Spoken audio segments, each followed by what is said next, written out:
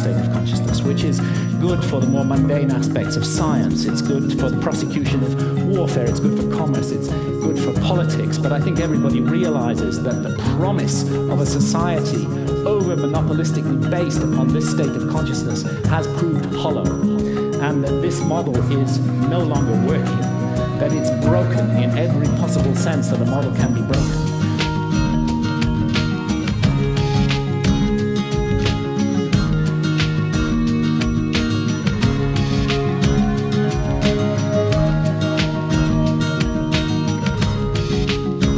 What is the antidote to this? Well, it's what I call the archaic revival. It's something that's been going on throughout most of the 20th century, but with increasing depth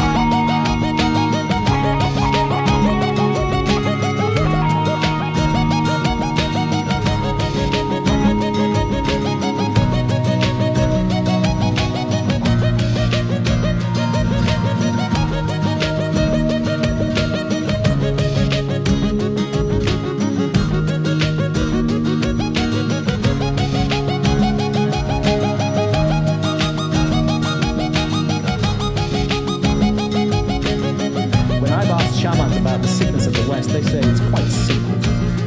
You guys have severed your connection with spirit. Unless you reconnect with spirit and do so soon, you're going to bring the whole house of cards down around your heads and ours.